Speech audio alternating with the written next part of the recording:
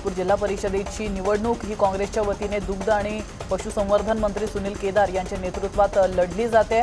तर काँग्रेस परत सत्ता टिकवून ठेवेल असा त्यांनी विश्वास व्यक्त केला.